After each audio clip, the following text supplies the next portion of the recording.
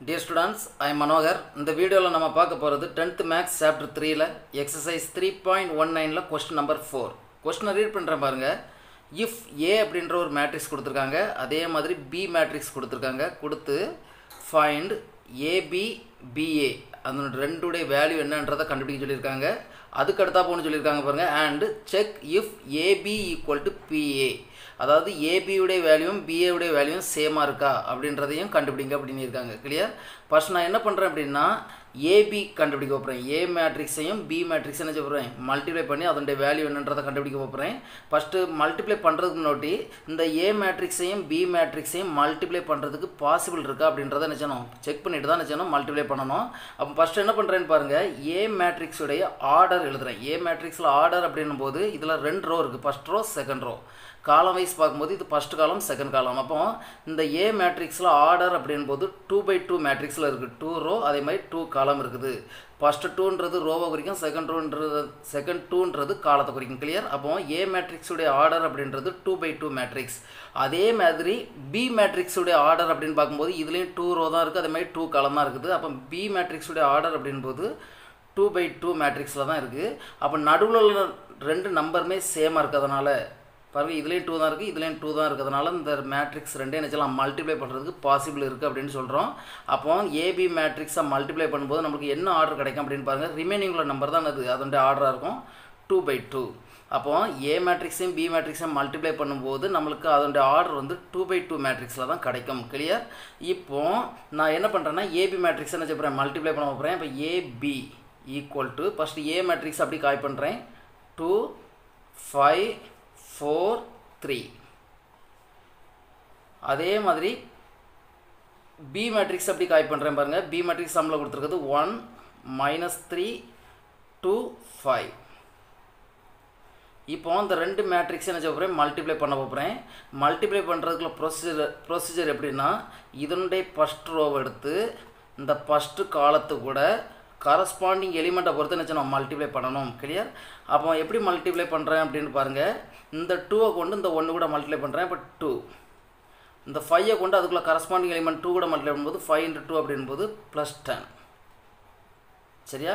இப்போ அதே மாதிரி இந்த ஃபஸ்ட் ரோவை எடுத்து இந்த செகண்ட் காலத்து கூட கரஸ்பாண்டிங் எலிமெண்ட் கூட மல்டிப்ளை பண்ணி இந்த ரோவில் எழுத வைப்பறேன் அப்போ டூவை கொண்டு மைனஸ் த்ரீ கூட மல்டிப்ளை பண்ணும்போது மைனஸ் சிக்ஸ் ஃபைவை கொண்டு ஃபிஃப்டீன் ஃபைவ் கூட மல்டிப்ளை பண்ணும்போது five into five twenty five plus twenty five சரியா? இப்போ என்ன செய்தாச்சுன்னா இந்த ஃபஸ்ட் ரோ எடுத்து இந்த ஃபஸ்ட்டு காலம் செகண்ட் காலத்தை கூட கரஸ்பாண்டிங் எலிமெண்ட் கூட மல்டிப்ளை பண்ணி எடுத்து எழுதியாச்சு. அதே மாதிரி இந்த செகண்ட் ரோ எடுத்து ஃபஸ்ட் காலத்து கூட கரஸ்பாண்டிங் எலிமெண்ட் கூட மல்டிப்ளை பண்ணி செகண்ட் ரோவில் எழுத போகிறேன் ஃபோரை கொண்டு ஒன்று கூட மல்டிப்ளை பண்ணும்போது ஃபோர் அதே மாதிரி த்ரீயை கொண்டு டூ கூட மல்டிப்ளை பண்ணும்போது ப்ளஸ் சிக்ஸ் அதேமாதிரி ஃபோரை கொண்டு மைனஸ் த்ரீ கூட மல்டிப்ளை பண்ணும்போது மைனஸ் டுவெல் த்ரீயை கொண்டு ஃபைவ் கூட மல்டிப்ளை பண்ணும்போது ப்ளஸ் ஃபிஃப்டீன் கிளியர் இப்போ இதை சிம்பிளை பண்ணுறேன் பாருங்கள் AB equal to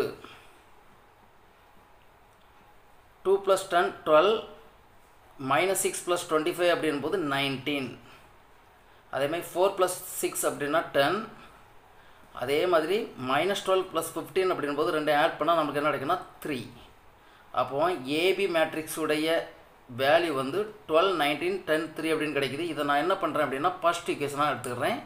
ஏபி மேட்ரிக்ஸும் கேட்டிருக்காங்க. அப்போ இதனுடைய ஆன்சர் இதுதான் கிளியர் இப்போ நம்மளுக்கு ஏபியும் பிஏயும் சேமாக இருக்கா அப்படின்றத செக் பண்ணுறதுக்காக தான் நினச்சேன். இதை ஃபஸ்ட் ஈக்குவேஷன் எடுத்துருக்கேன்.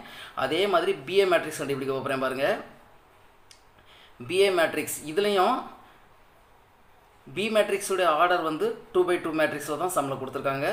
அதே மாதிரி ஏ மேட்ரிக்ஸோட ஆர்டர் வந்து நமக்கு இதில் தான் கொடுத்துருக்காங்க? டூ பை டூ மேட்ரிக்ஸில் தான் கொடுத்துருக்காங்க.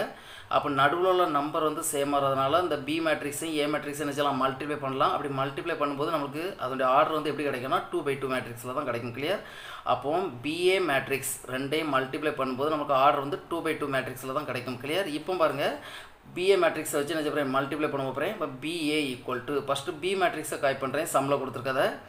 One minus three two five அதே மாதிரி ஏ மேட்ரிக்ஸை வந்து அப்படி காய் பண்ணுறேன் பாருங்கள் ஏ மேட்ரிக்ஸ் நம்மளுக்கு என்ன கொடுத்துருக்காங்க? சம்பளம் டூ ஃபைவ் ஃபோர் த்ரீ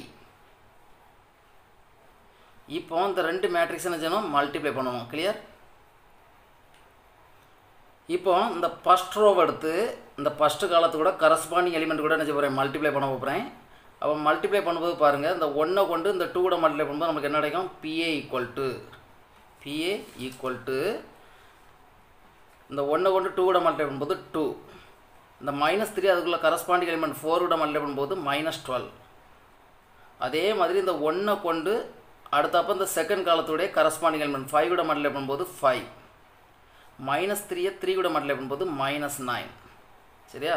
இப்போ இந்த ஃபஸ்ட் ரோ வச்சு ஃபஸ்ட் காலம் செகண்ட் காலத்தை கரஸ்பாண்டிங் எலிமெண்ட்டை வச்சு மல்டிப்ளை பண்ண மாதிரி அதேமாதிரி செகண்ட் ரோவை இந்த ஃபஸ்ட்டு காலத்தை கூட கரஸ்பாண்டிங் எலிமெண்ட் கூட மல்டிப்ளை பண்ண போகிறேன் அப்போ இந்த டூவை கொண்டு டூ கூட மல்டிப்ளை பண்ணும்போது ஃபோர் ஃபைவை கொண்டு ஃபோர் விட டுவெண்ட்டி ம ஃபோர் விட மல்டிப்ளை பண்ணும்போது டுவெண்ட்டி அப்போ ப்ளஸ் டுவெண்ட்டி அதே மாதிரி பாருங்கள் இந்த டூவை கொண்டு செகண்ட் காலத்தில் கரஸ்பாண்டிங் எலிமெண்ட் ஃபைவ் கூட மல்டிப்ளை பண்ணும்போது டென் ஃபைவை கொண்டு த்ரீ கூட கரஸ்பாண்டிங் எலிமெண்ட் கூட மல்டிப்ளை பண்ணும்போது ப்ளஸ் ஃபிஃப்டீன் இப்போ இதை சிம்ப்ளை பண்ணுறேன் பாருங்கள் டூலேருந்து மைனஸ் டூவில் சப்ட்ராக்ட் பண்ணும்போது நமக்கு என்ன கிடைக்கும்? Minus ten BA equal to minus ten ஃபைவ்லேருந்து மைனஸ் நைனை சப்ட்ராக்ட் பண்ணும்போது minus four four plus twenty twenty four ten plus fifteen twenty five இது செகண்ட் ஈக்குவேஷன் எடுத்துக்கிறேன். பிஏவும் கேட்டிருக்காங்க. பிஏ அப்படின்னா இதோட ஆன்சர் வந்து இதான்.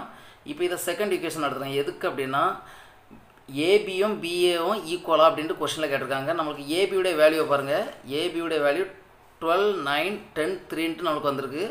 அதே இது பிஏவுடைய வேல்யூவை பாருங்கள் பிஏவுடைய வேல்யூ வந்து minus ten minus four twenty four twenty ஃபைவ்ன்ட்டு value வந்து வேறு வேல்யூ தான் கிடச்சிருக்கு. கிளியர் அப்போ நம்ம என்ன எழுதணும் அப்படின்னா from one and two one and two வச்சு பார்க்கும்போது AB not equal to BA இதான் இந்த சம்முடைய ஆன்சர் தேங்க்யூ